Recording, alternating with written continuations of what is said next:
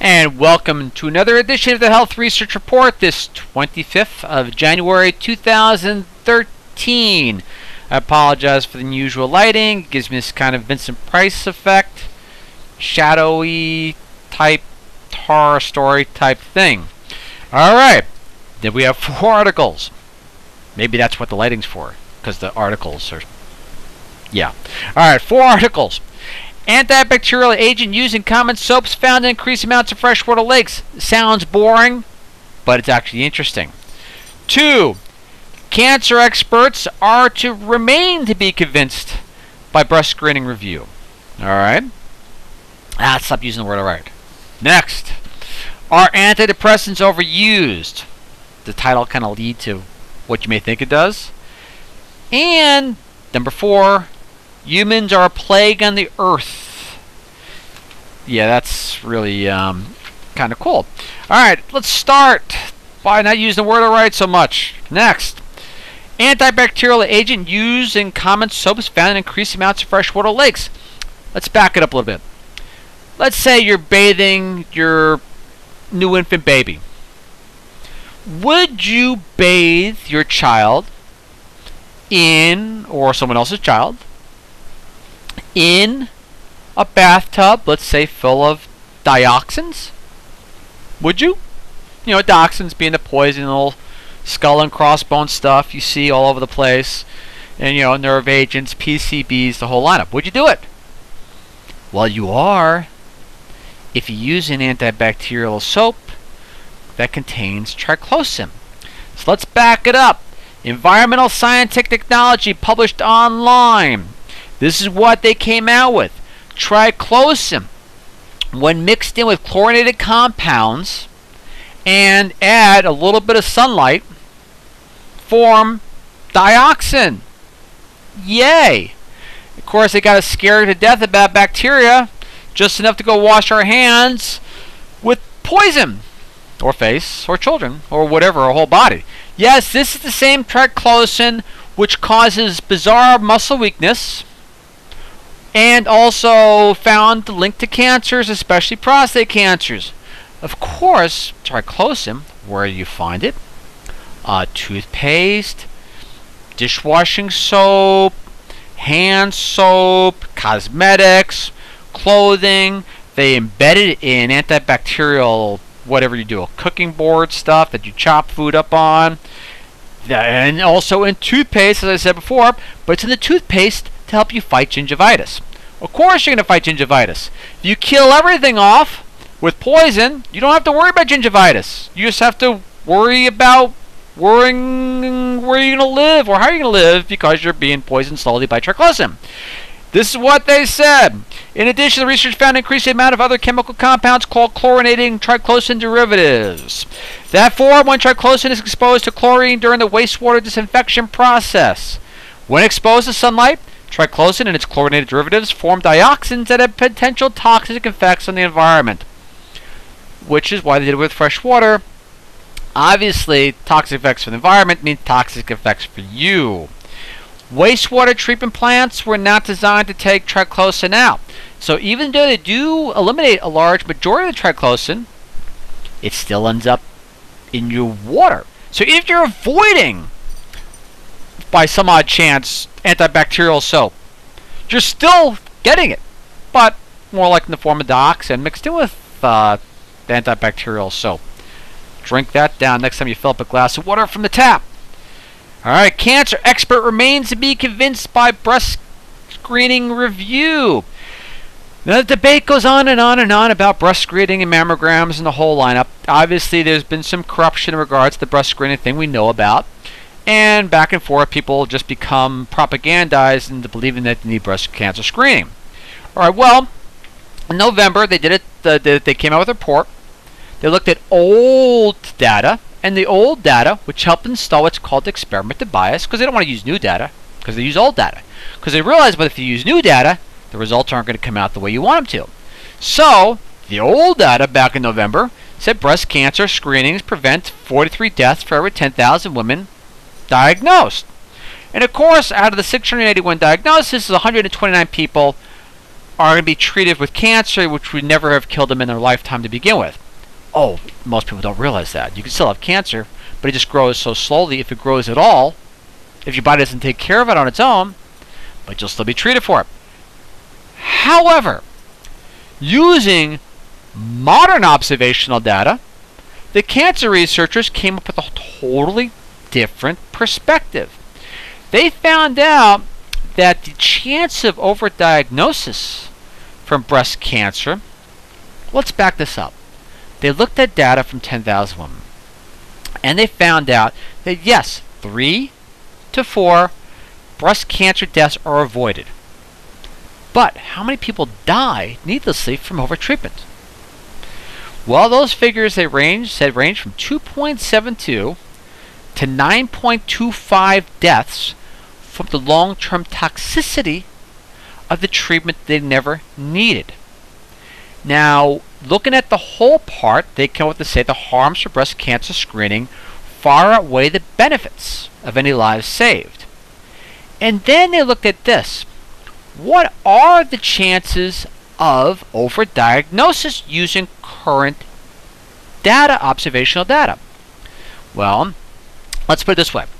Sydney, Australia just basically ran a study and found out the threshold for overdiagnosis or misdiagnosis before a person stops going to see breast screening, breast screening, breast cancer screening, is about 30%.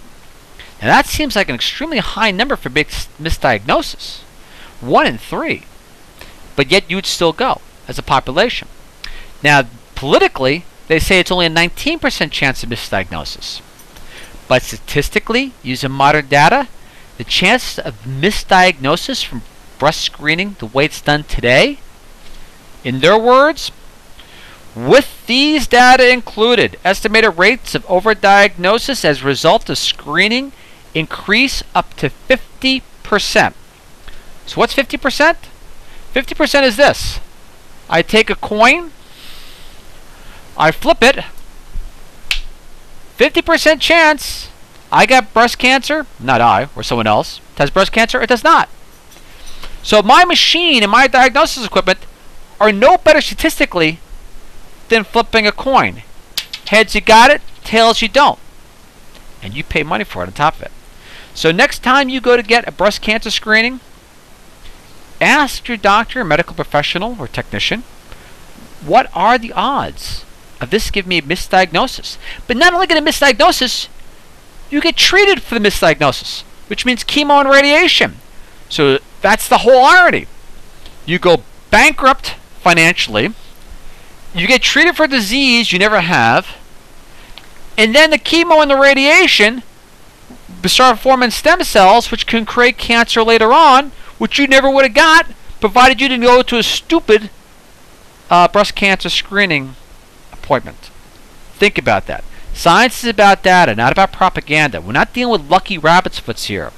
And the thing about it is, we're using mammographies, which have been around since what, 1950? And you see all this money being spent on health care expenditures? No, come on, guys. Do a better job. But they're not going to do a better job until you, as an individual, demand better job, a better job. It's called capitalism, not communism. All right. Capitalism meaning free market economy. That basically that things tend to improve as there's competition in the marketplace. You get better and better stuff out there. Out here, no competition. Everyone's buying a mammogram, a mammography, it's called communism. Like those one pair of shoes you see in the windows in the old Soviet Union we used to make fun of. Well, once you try MRIs or sonograms or something, stop buying the same stupid stuff. Alright, after that, enough to depress you? Are antidepressants overused? Now, in Britain, they noticed the last year in 2011 they had a what a 9.6% increase in antidepressant use. But how would you have such an incredibly high over I mean prescription increase in antidepressants besides having a bad economy? Well, guess what the diagnosis for depression is? What do you think? Something bad, heart palpitations, anxiety, high blood pressure going up, jitters, you know, the type of shock thing, bereavement? No. Two weeks of low mood, two weeks of low mood qualifies you for a depression diagnosis. Now, albeit, even states in here, that 75% of those people who write the definition for what depression is have links to the drug companies. Meaning, the more depressed people are, the more money they make. The more they can convince you you're depressed, the more money they make. Meaning, not necessarily getting you psychological help, a little bit of therapy, someone to talk your problems through. No, it's basically here. You go into the office, you walk in, you get this bottle of tablets that's supposed to make you feel good. You know, kind of like a corner drug dealer, but without the office and the white coat. So think about that. And they said even in the best case scenario, they said, do the Cochrane review suggest that one in seven people actually benefit? And that's the best case scenario. One in seven. That's even far suckier than the breast cancer diagnosis thing. But yet, you're buying it. Not you necessarily, but someone that's a you that's also listening, or someone knows you that's buying it. And on top of that, you get to have six months if you are diagnosed with not having depression by some odd chance, six months of unnecessary medical treatment, which is going to result in a ton of other side effects. You know, light hurts, hangover type feeling, lack of sensation. You know it. But that's if you're lucky enough to have a really good medical provider who is willing to take you off that medication because it's not working. Or you're not suffering from placebo effect that makes you think the medication is working. So once you're on it, whether you're depressed or not because you're two weeks of low mood, which makes every adolescent in the frickin' planet clinically depressed, you may be on it for the rest of your life. You never needed it. But yet, to the bright side, is you've been making some of these guys a lot of money. And who are these guys? The same guys who come up with the headline Humans are a plague on the earth and need to be controlled by limiting population growth. Obviously, this was in an article just recently by Sir David Attenborough. Now, wouldn't it be so bad, but you think about it, this guy's member of the Royal Society, one of the best scientists out there. Then you had Sir Nurse, or whatever the guy was. They got all the billionaires together talk about population control. Even though as the billionaires ate their donuts, Twinkies, and ding dongs, or whatever billionaires do, because they don't look exactly the healthiest group out there. But, however, they say the population needs to have its growth limited, which can be true, but however, though, they want it on a voluntary basis. Now, the trick is this when someone says we need to limit population growth voluntarily, who voluntarily? You voluntarily? Hey, you. Limit your population growth. Governments voluntarily? Hey, you people. Stop having kids. Or some sort of weird plutocracy by some odd chance. Hey, billionaires, let's get together. Let's find a way to put things in the environment they're going to sterilize people one way or the other without them knowing it. BPA, PVCs, few other medications here and there. Now, what the heck? You know, obviously that has nothing to do with sperm counts dropping so rapidly in the recent period of time.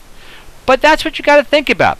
And also, too, why are these people, whoever these people are, billionaires and everything else like that, using the word plague and humans in the same terminology? So when you have individuals using the word plague and human, and these are the same people that have controlled your health care, these are the same people that control your food supply, these are the same people that produce goods and services in direct research, because money is where the power comes from.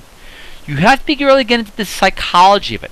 I've heard about controlling population, I've heard about concerns about overpopulation but I never started hearing the words plague and human being synonymous with each other. So, how do you normally get rid of plagues? You obviously have to cure it. But what do you do to the bacteria and viruses that cause the plagues? I'm not going to use the word. Use the word. And that's it. This issue on the 25th of January 2013. Another edition of Health Research Report. And of course, all being, be back next week And I always appreciate you guys listening. And uh, we'll take it later on. Catch you in a bit. Bye.